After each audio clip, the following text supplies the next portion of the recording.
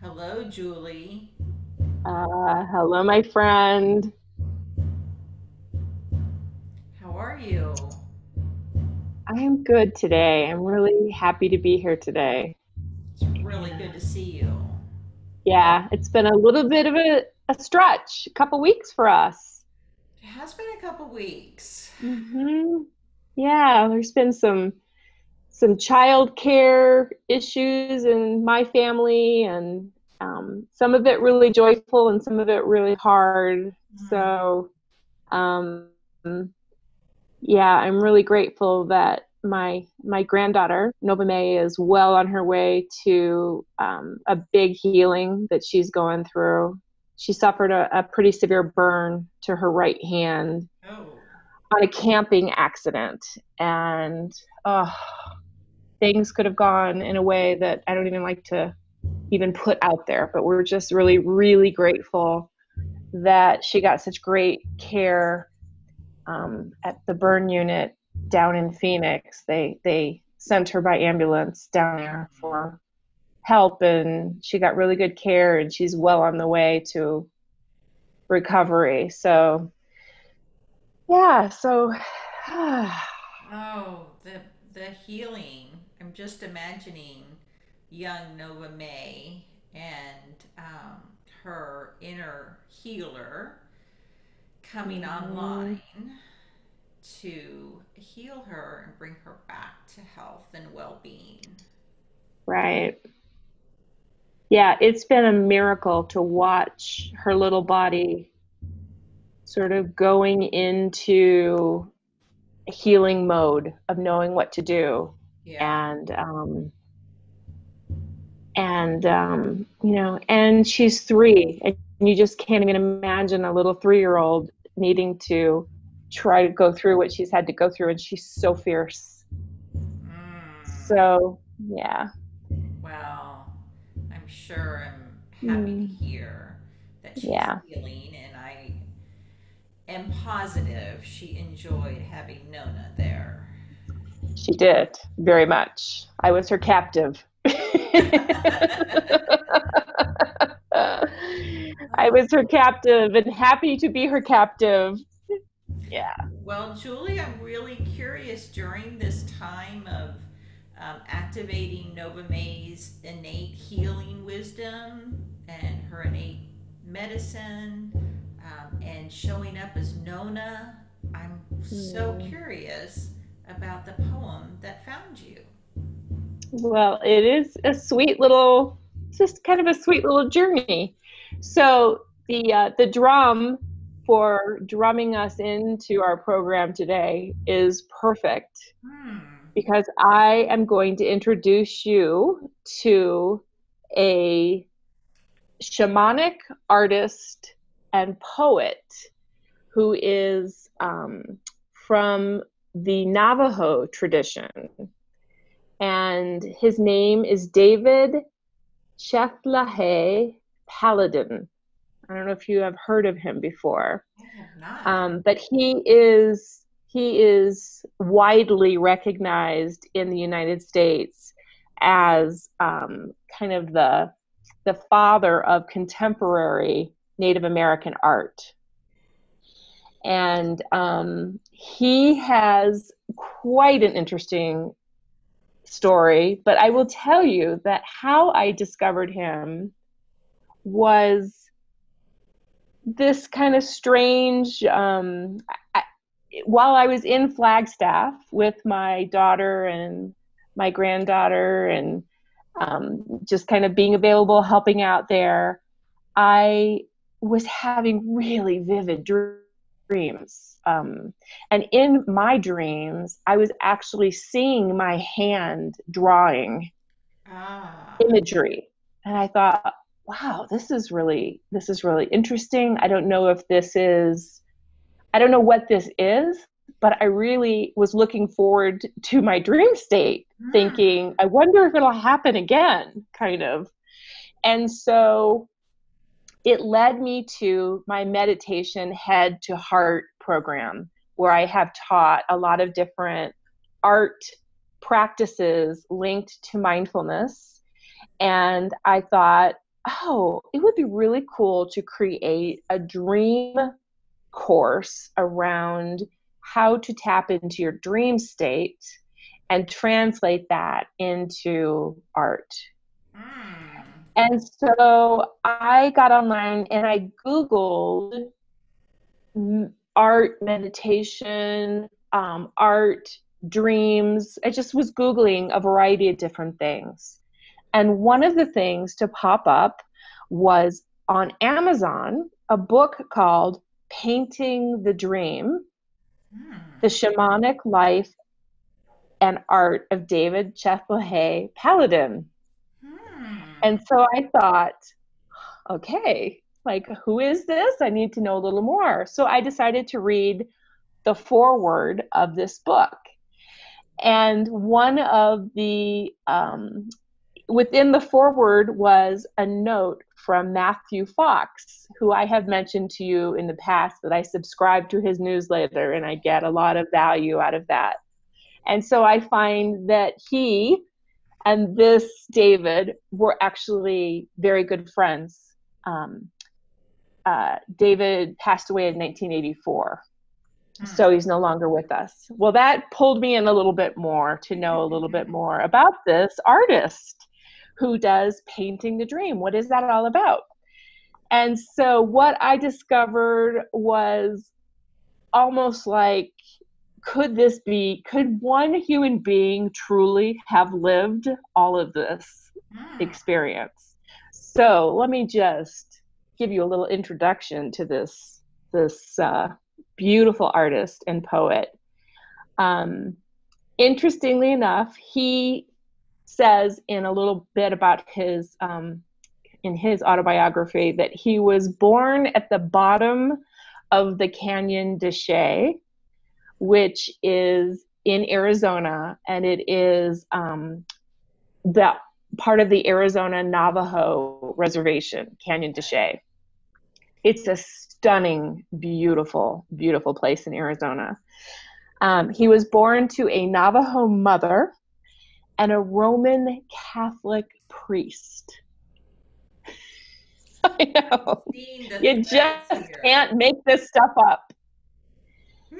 Now, shortly after his birth, his mother left the reservation, leaving him behind as an infant, a newborn, and she became a nun. Don't know what happened with his father, but that is part of his telling his story. Wow. Now he's left on this reservation with a, a, community of people who truly take responsibility for being for parenting responsibilities so he has this he has access to a lot of people within this tribe who just jump in and basically he is raised by his this community and um, he says that it was an ideal situation for him, he recognizes, you know, in telling his story as an adult, he recognizes that he truly experienced being a free, kind of a free soul. Mm-hmm. Um, because while people, you know, made sure he was fed and clothed and safe, he had a lot of freedom within his experience of, of how he lived his life. So, cut to being around, I think, age six, and children at, at this time in history. So, this is the, the 30s, the 1930s. And um, Native children are being sort of rounded up and forced to go into Indian schools, right. which were residential schools across this country, with the the purpose of assimilation and teaching them Euro American ways of living mm-hmm. um, and leaving their culture firmly behind. So it was a very punishing environment. And he he mentions in another so I read a little bit about this forward and then it sent me on some other some other paths to find out more because I was so intrigued by his story. Um, and in another story, he talks about being sort of called the incorrigible runaway because he would break out of school every chance he got because it was a very punishing environment for him. So um, he runs away from school um, so many times that finally they just sort of like can't catch up with him any longer. Now, World War II has kind of broken out about the time period that he is around age 14, 15. Okay. And he decides, like a lot of young men in the United States, that he is signing up.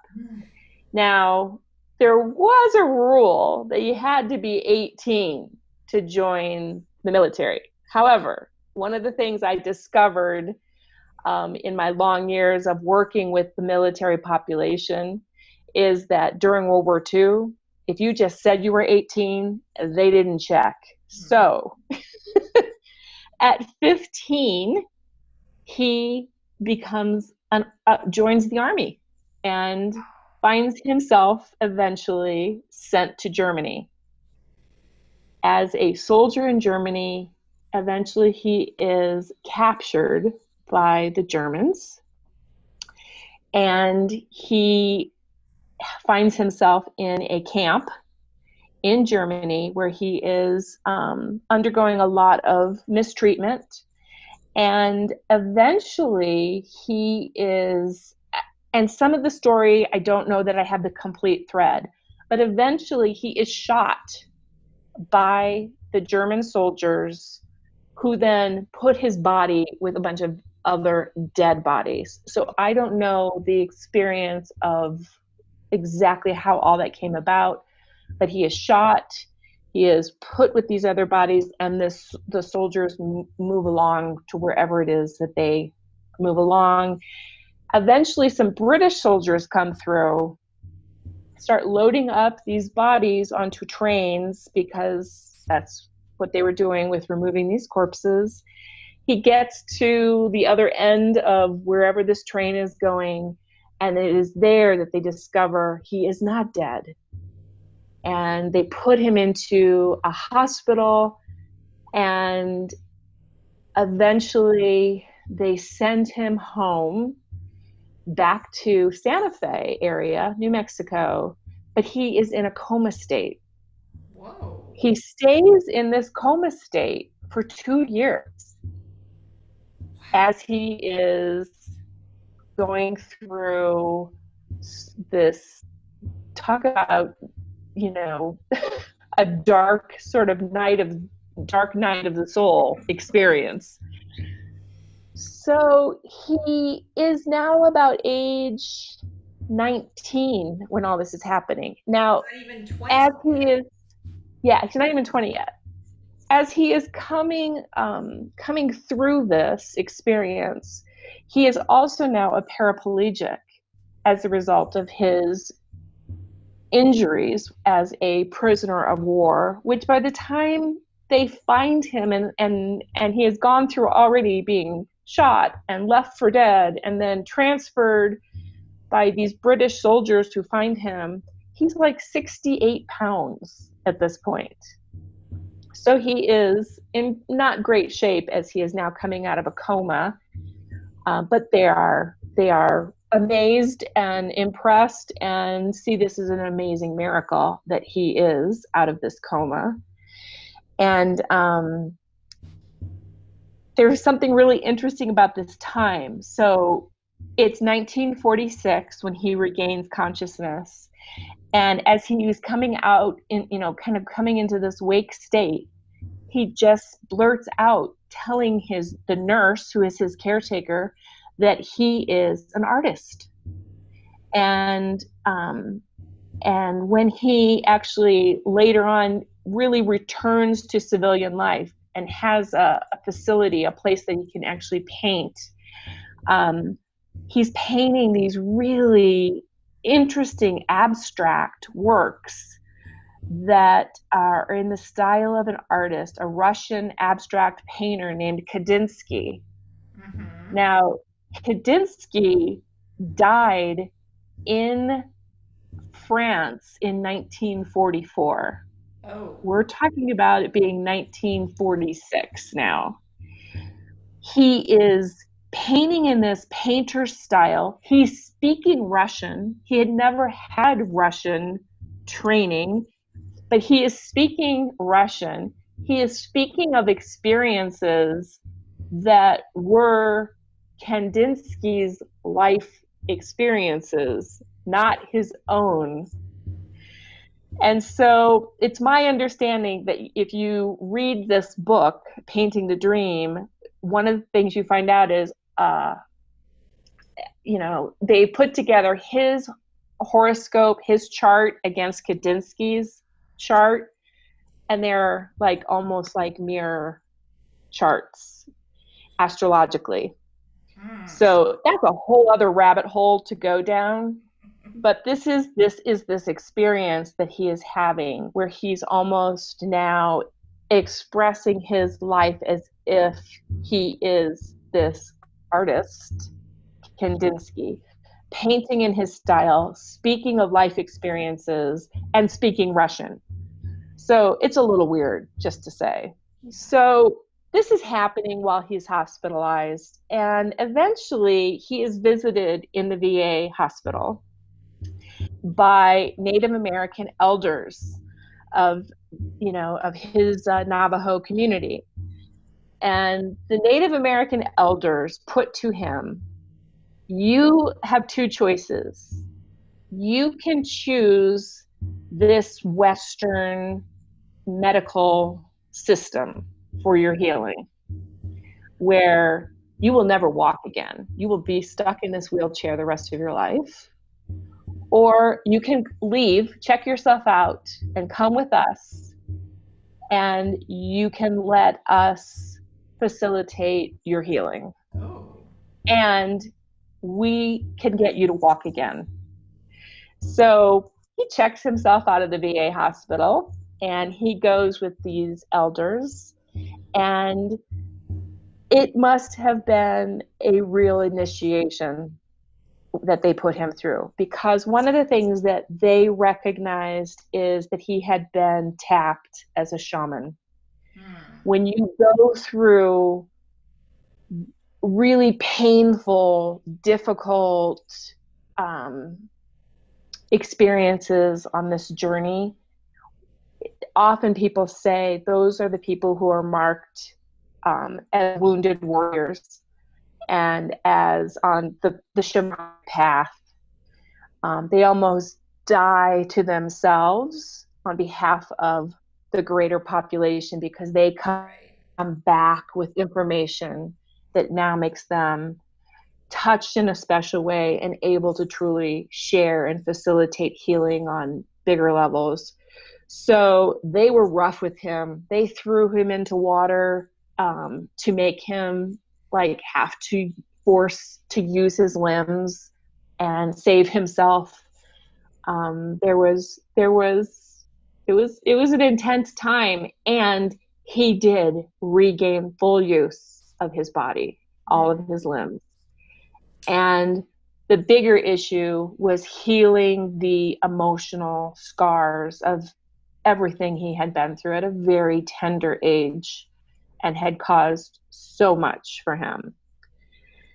So about the same time he is he goes through this incredible healing and he eventually then chooses to go to the Chicago Art Institute and really um, learn this craft of art and how he was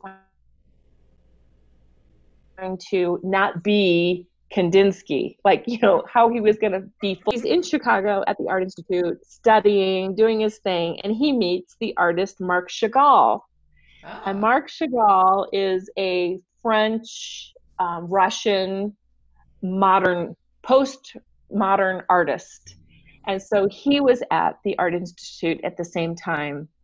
And they became, you know, friends and colleagues. And one of the things that Chagall did for him is that he recognized that he was talented at making marks and copying other people's styles. But he really said to him, You need to draw on your Navajo native you know customs and imagery but you need to make them your own. You know you need to draw on that. You have you have this gift that landed in your lap as an artist. Use it. And so he credits Marc Chagall of really putting him on his path of kind of creating his own style which then becomes the contemporary navajo art style. Ah. So that is sort of a, you know a overview about this man